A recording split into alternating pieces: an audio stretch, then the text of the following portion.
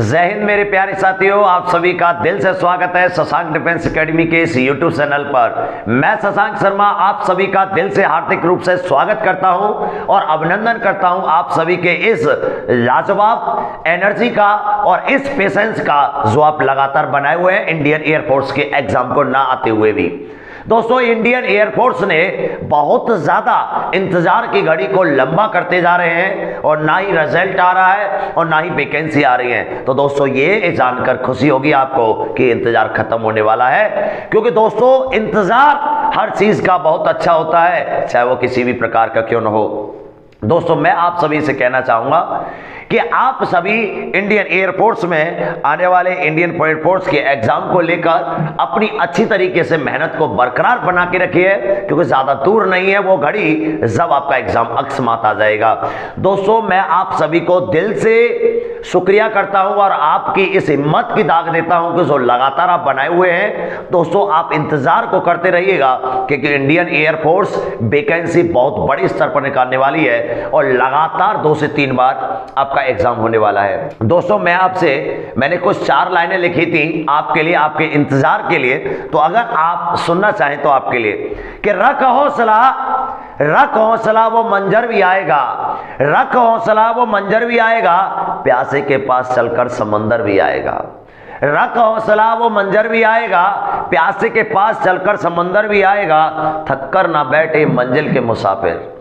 अरे थक्कर न बैठे मंजिल के मुसाफिर। मंजिल भी मिलेगी और मिलने का मज़ा भी बहुत आएगा। बिल्कुल नहीं बैठना है और ना ही थकना है। इंडियन एयरफोर्स की वैकेंसी बहुत जल्द आने वाली है। आप अपनी तैयारी को लगातार बना के रखिए। दोस्तों, मैं आप सभी के लिए लेके आया हूँ एक ज़बरदस्त mock test next mock test और टॉपिक का नाम है मोशन एंड फ्रक्शन बेटा, एक बार देखेंगे ध्यान से। और टॉपिक बहुत ज़बरदस्त है, बहुत ही अच्छे तरीके के क्वेश्चन को करने वाले हैं। हमें टॉपिक में आने वाला है मोशन एंड फ्रक्शन यानी कि सब चैप्टर में पढ़ने वाले हैं ज़्यादातर फ्रक्शन क्योंकि हमारा लास्ट जो वीडियो था, आपको डिस्क्रिप्शन में लिंक में मिल जाएगा। उसमें हमने वीडियो में लिंक भी दे रखा है, और बेटा, आप आराम से देख सकते हैं और अपने नोट्स प्रिपेयर कर सकते हैं। आइए फ्रक्शन के टॉपिक को सीधे आगे बढ़ाते हैं। दोस्तों, पहला क्वेश्चन 26 क्वेश्चन नंबर 26 126 और 125 क्वेश्चन जो निकल चुके हैं, अगर आप उनको करना चाहते हैं तो लास्ट वीडियो को देख सकते हैं। न्यूटन के मोशन का फ़र्स्ट लॉ का मैथमेटिक्स शेप है। ये बहुत ज़बरदस्त है, देखो इंडियन एयरफोर्स की ये खास आदत रहती है नेवी की खास आदत रहती है कि जो कुछ भी ट्वेल्थ में पढ़ाया जाता है, उसका थोड़ा सा सेकंड पार्ट पूछ के वो चलते हैं कि न्यूटन के फ़र्स्ट लॉ को सबने पढ़ाया होता है कि पोजीशन चेंज करने के लिए एक्सटर्नल फोर्स की आवश्यकता होती है। तो ठीक उसी प्रकार, बेटा मैथमेटिक्स से पूछ जाती है कि find the mathematic shape of Newton first law ध्यान रखिएगा पोजीशन चेंज करने का मतलब है कि उसका एक्सलेशन क्या होना चाहिए? ज़ीरो अगर एक्सटर्नल फोर्स नहीं है तो राइट ऑप्शन इज़ एसी याद रखना है इस क्वेश्चन को। नेक्स्ट क्वेश्चन आपके स्क्रीन पर। न्यूटन की गति का तृतीय नियम का गणितीय रूप बताइए। एक्शन रिएक्शन आप जानते होंगे action reaction F one two minus F two one next question आपके स्क्रीन पर। अगर एक लेफ़्ट है, एक सिंपल पेंडुलम है, क्वेश्चन आप आराम से पढ़ सकते हैं। एक सिंपल पेंडुलम है और सिंपल पेंडुलम में अगर कोई व्यक्ति खड़ा है और यहाँ पर एक पेंडुलम लटका हुआ है, जिस पेंडुलम का जो टाइम पीरियड है, वो टाइम पीरियड है दोस्तों टी, लेकिन लेफ़्ट को A G by three acceleration से जी बाई थ्री एक्सेलेशन से ऊपर की ओर लेके जा रहे हैं जी बाई थ्री एक्सेलेशन से। तो आपको पता होना चाहिए कि प्रथम जो टाइम पीरियड होगा टी वो हो जाएगा टी बराबर two pi under root L upon G अब जो लास्ट जो टाइम पीरियड हो जाएगा, ये कांस्टेंट है, ये कांस्टेंट है तो टी प्रोपोर्शनल टू आ गया one upon root G initial condition में। अब क्या कर रहे हैं? ऊपर लेके जा रहे हैं तो ये हो जाएगा G plus G by three then answer four G by three अब हमारे पास जो यहाँ पर टाइम पीरियड हो जाएगा, ऊपर की जाते समय टाइम पीरियड टी डैश हो जाएगा proportional to one upon root four G by three जैसा कि आप जानते हैं कि क्वेश्चन में अगर हम भाग देंगे कि टी ओवर टी डैश तो आपके पास आ जाएगा बेटा रूट उल्टा है, उल्टा ऊपर पहुँच जाएगा four G by three over root G G से जी कट जाएगा और आपके पास जो टी डैश की वैल्यू आ जाएगी, वो root three by two into T आ जाएगी। तो right option is A root three by two into T Bombay. Next question आपकी स्क्रीन पर। कि 60 किलोमीटर पर आवर की स्पीड से चलती हुई कार ब्रेक लगाने पर 20 मीटर आकर रुक जाती है। यानी कोई भी कार है जो 60 किलोमीटर पर आवर की स्पीड से चल रही है, अगर वेलोसिटी को डबल कर दिया जाए तो रोकने के लिए कितनी डिस्टेंस चलेगी? बेटा, इस बात के लिए डायरेक्ट आप शॉर्ट ट्रिक यूज़ करिएगा। एक लाइन में आंसर आ जाएगा, किसी वस्तु को रोकने के लिए तो V square proportional to X इसका आप यूज़ करिएगा।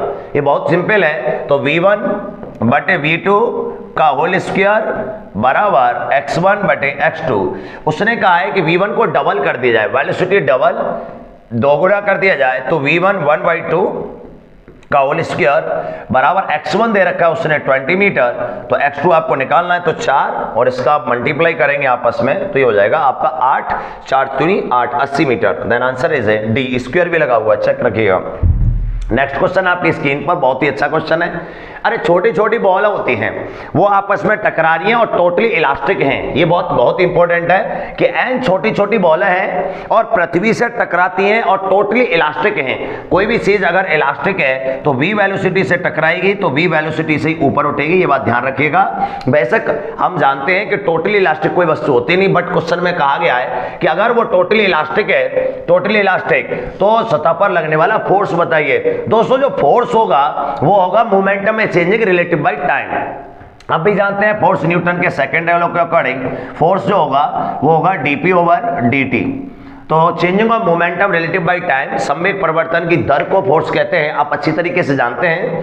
तो अगर हम बात करेंगे तो वेलोसिटी में जो चेंजिंग आएगी डी वी वो आ जाएगा बेटा टू वी क्योंकि वी से आ रहा है और वी से ऊपर जा रहा है तो V two minus V one और ये माइनस में लेंगे तो माइनस माइनस प्लस हो जाएगा।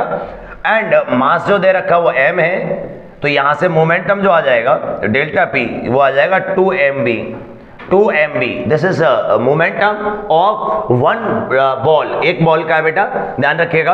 अगर हम एन बॉल के बारे में बात करेंगे तो पी नेट जो आ जाएगा एन बॉल के लिए टू एम एन वी ये आ जाएगा। तो हमारे पास टक्कर टकराने में लगने वाला बॉल यही होगा क्योंकि पर सेकेंड में टी बराबर वन ले लेंगे। तो हमारे पास यही फोर्स आ जाएगा। कि two M N B answer आ जाएगा बंबई नेक्स्ट क्वेश्चन आपकी स्क्रीन पर। किसी वस्तु के संवेग में इतने परसेंट की वृद्धि कर दी जाए तो गतिज ऊर्जा में कितनी वृद्धि होगी? यानी increment of kinetic energy if increment of potential momentum is एक 0.2 0.1 परसेंट बहुत इजी है बेटा डायरेक्ट ट्रिक यूज़ करेंगे आप। एक लाइन में आंसर यानी changing of kinetic energy changing of momentum is a x percent, then changing of energy equal to 2x percent. Direct use करेगा आप इसे। तो अगर हम बात करते हैं मोमेंटम में 0.1 है तो काइनेटिक एनर्जी में 0.0.2 होगा। ये नहीं होगा, ये 0.2 दिल्ली। आंसर आएगा आपका, दिल्ली। टू का मल्टीप्लाई हो जाएगा। क्वेश्चन नंबर नेक्स्ट आपकी स्क्रीन पर फ्रैक्शन पर आधारित कौन सी प्रक्रिया नहीं है? इंडियन एयरफोर्स 2019 में पूछा गया क्वेश्चन है दोस्तों कि ऐसा कौन सा प्रोसेस है जो कि फ्रैक्शन पर आधारित नहीं है? तो फ्रैक्शन पर लिखना, अरे दोस्तों बिगर फ्रैक्शन के तो हम लिख ही नहीं सकते हैं, ये तो आधारित है। बोलना, देखिए दोस्तों बिगर फ्रैक्शन के हम बोल भी नहीं सकते हैं, जैसे मैं बोल रहा हूँ, और अगर मैंने एक चम्मच घी खा लिया तो मेरी आवाज़ ऑटोमेटिकली चेंज हो जाएगी, क्योंकि फ्रैक्शन कम हो जाएगा फिसलन हो जाएगी। और आप जानते हैं तेल लगा के तो वैसे ही फ्रैक्शन कम हो जाता है।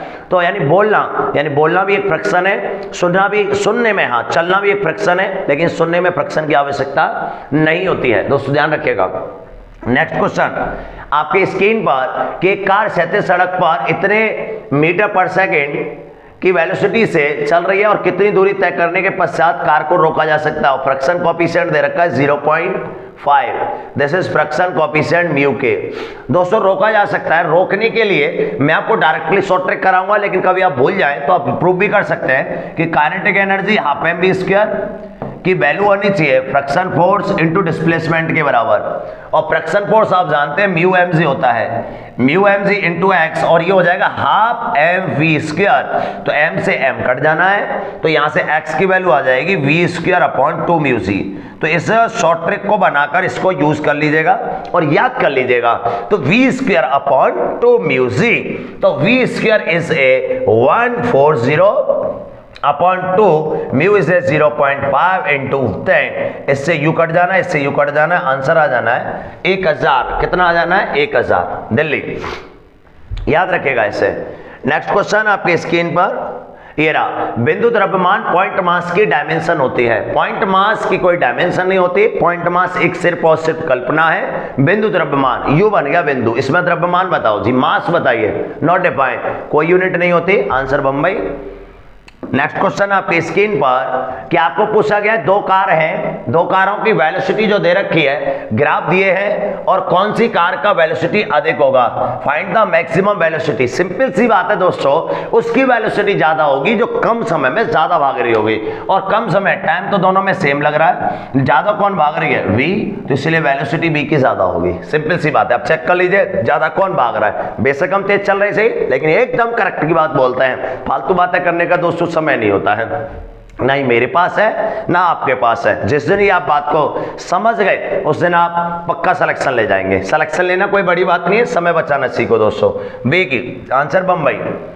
Next question आपके स्क्रीन पर कि जड़त्व का नियम लॉ ऑफ़ इनर्सिया जड़त्व का नियम किस नाम से जाने वाला, किसका लॉ है? यानी कि लॉ ऑफ़ इनर्सिया के नाम से ऐसा कौन सा लॉ है जो जाना जाता है? वो है first law law of inertia mass law and रेस्टेबल law Galileo law Newton first law इतने नामों से जाना जाता है। ये बात ध्यान रखिएगा। नेक्स्ट क्वेश्चन आपके स्क्रीन पर। 10 मीटर 10 न्यूटन सेकेंड की वेलोसिटी से चलती कार दो सेकंड में रुक गई। तो फ्रैक्शन फोर्स की वैल्यू बताइए। दोस्तों, सुनिएगा ध्यान से कि यानी इतने न्यूटन सेकेंड ऐसे क्वेश्चन आते हैं और ये क्वेश्चन हमें केवल यूनिट से करने होते हैं। यूनिट से, इसका कोई तोड़ नहीं है कि 10 न्यूटन सेकेंड ऐसे क्वेश्चन आ जाते हैं और दो सेकेंड में रुक गई। दो सेकंड में रुक गई तो फ्रैक्शन फोर्स सीधा सीधा है कि अगर मैंने सेकंड से भाग दे दिया तो यही फ्रैक्शन फोर्स होगा, सेकंड से सेकंड कट जाएगा और ये आ जाएगा पाँच न्यूटन। बहुत इजी होते हैं दोस्तों कि अगर आपको यूनिट से काम करना होता है, ऐसे क्वेश्चनों में आंसर आ जाएगा, कलकत्ता। नेक्स्ट क्वेश्चन आपकी स्क्रीन पर 40 न्यूटन के फोर्स से जब किसी 5 केजी की वस्तु को बल लगाया गया तो वस्तु में उत्पन्न तुरंत। Find the acceleration of object with 40 Newton and mass of object 45 KG तो एफ़ बराबर एम ए बहुत सिंपल क्वेश्चन है। ऐसे ही क्वेश्चन आया करते हैं, ध्यान रखिए। बट समझने में दिक्कत हो जाती है कभी कभी बच्चों को, और कभी कभी तो बच्चे यही सोचने पर मजबूर हो जाते हैं कि उनको इतना सिंपल क्वेश्चन कैसे दे दिया? आ देगा भैया? क्यों ना देगा? आठ मीटर पर second square next question IIT level थोड़ी आता है। आता बहुत छोटा है, बस आपको कॉन्फिडेंस चेक करना होता है कि जब लिफ्ट को कांस्टेंट वेलोसिटी यू देखो, किसे गति कराई जाती है तो लिफ्ट के टेंशन पर क्या प्रभाव पड़ेगा? कोई प्रैक्ट नहीं पड़ता है। तीन पोजीशन होती है, मैं आपको तीनों समझा देता हूँ विद इन फाइव सेकेंड के अंदर कि जब आपके पास कोई लिफ्ट है और आप इसके अंदर खड़े हैं और लिफ्ट की टेंशन टी निकालनी हो तो टी बराबर एम रहता है। जब वी कॉन्स्टेंट होगा, ध्यान रखिएगा, या वी ज़ीरो होगा। लेकिन लेकिन अगर ए एक्सेलेशन से आप ऊपर जा रहे हैं तो टेंशन टी हो जाता है एम जी प्लस ए और यदि ए एक्सेलेशन से नीचे आ रहे हैं तो टेंशन टी हो जाता है एम जी माइनस ए कहानी खत्म हुई यहाँ पे और इसको याद करना। है ध्यान रखिए, अगर कांस्टेंट वेलोसिटी है तो एम जी होता है वेलोसिटी ज़ीरो से तो एम जी होवे से, और अगर टी बराबर एम जी प्लस ए होवे तो दूसरे का होवे जी ए एक्सेलेशन ऊपर जावे तो एक्सेलेशन आवे एम जी प्लस ए और यदि T M G minus A होवे तो आंसर यानी कि एक्सेलेशन नीचे से आवे, यानी बैक में बता दिया मैंने सभी। ध्यान रखिएगा देन आंसर कोई फैक्ट नहीं पड़ेगा, समान रहेगा। कॉन्स्टेंट वेलोसिटी से टेंसर पर कोई फैक्टर नहीं पड़ता है। नेक्स्ट क्वेश्चन आपके स्क्रीन पर. लिफ्ट की रस्सी अचानक टूट गई. ओहो, गड़बड़ हो जानी है सब सब तो. जैसे ही लिफ्ट टूट जाएगी तो नीचे से प्रतिक्रिया नहीं मिलेगी रिएक्शन नहीं मिलेगी. जैसे मैं यहाँ खड़ा हुआ हूँ. आप मुझे एक्सप्लेन कीजिए, मैं खड़ा हुआ हूँ. सिंपल सा फंडा है. मैं इसीलिए खड़ा हुआ हूँ क्योंकि मेरा भार जो एम है, वो नीचे की ओर लग रहा है और नीचे से रिएक्शन जो है, ऊपर की ओर लग रहा है. दोनों की वैल्यू एक्सेक्ट बराबर है, इसलिए मैं खड़ा हुआ हूँ. अगर एम ज़्यादा हो गया तो मैं नीचे चला जाऊँगा, जैसा कि दलदल में होता है। और यदि रिएक्शन हो गया ऊपर ज़्यादा तो मैं ऊपर उठ जाऊँगा। जैसे कि हीलियम वॉल्यूम होता है, हीलियम गुब्बारा होता है। सिंपल सी बात है। तो मैंने आपसे बोला कि अगर कोई लिफ्ट है और लिफ्ट की रस्सी ब्रेक हो गई, ध्यान दीजिएगा तो इसमें जो एम था वो नीचे लग रहा था और रिएक्शन जो आर था वो ऊपर लग रहा था। और यदि रस्सी की टेंशन जो टी बैलेंस कर रहा था ये, हुआ क्या? ये ब्रेक हो गई। अगर ये यहाँ से ब्रेक हो गई तो ब्रेक होते ही आर तो मिलेगा, लेकिन एम जी गायब हो जाएगा और व्यक्ति ऊपर की ओर उठ जाएगा। इसको वेटलेस पोजीशन कहेंगे भारीता की स्थिति कहेंगे वेटलेस कंडीशन कहेंगे तो क्या होगा जी? उसके भार पर क्या प्रभाव पड़ेगा? बढ़ेगा घटेगा बदलेगा शून्य हो जाएगा। यस वेटलेस कंडीशन ज़ीरो हो जाएगा, ध्यान रखिएगा। नेक्स्ट क्वेश्चन न्यूटन का सेकंड लॉ किसे परिभाषित करता है? बहुत ही गजब का क्वेश्चन है दोस्तों, ये बहुत भयंकर क्वेश्चन है कि न्यूटन का सेकंड लॉ किसे डिफाइन करता है और न्यूटन का सेकंड लॉ किसे इंक्लूड करता है? ये दोनों क्वेश्चन बहुत जोरदार है। किसे डिफाइन करता है? मोमेंटम को इंक्लूड करता है फोर्स को। ध्यान रखिएगा, किसे डिफाइन करता है? मोमेंटम को और इंक्लूड करता है। इंक्लूड मतलब मापता है, वो होता है फोर्स को। ध्यान रखिएगा क्वेश्चन को। नेक्स्ट क्वेश्चन 40 ग्राम कि गोली इतने मीटर पर सेकंड से फेंकी जाती है तो गोली का मोमेंटम हो जाएगा। सिंपल है बट बहुत ही ज़्यादा खतरनाक है। यूनिट की वजह से गलती कर देते हैं बच्चे, और गलती करने के बाद बहुत ही ऐसे एक्सप्लेन करते हैं, ना ना, कोई बात ना, छोटी सी गलती है।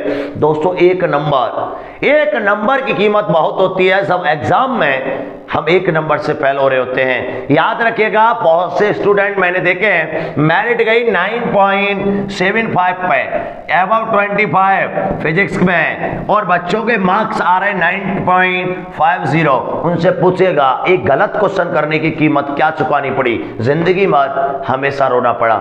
इसीलिए कहता हूँ, बेटा, हर एक क्वेश्चन की ताकत होती है। अगर क्वेश्चन को अगर बारीकता से आप समझते हैं, मैंने बोला 40 ग्राम ध्यान दीजिएगा मेरी बात पे 40 ग्राम ग्राम है तो यानी कि 40 गुणा ten to the power minus three K G into velocity बारह सौ। आंसर यू ज़ीरो कट जाना है, या सी ज़ीरो कटना है, बारह सौ अड़तालीस के जी मीटर पर सेकेंड।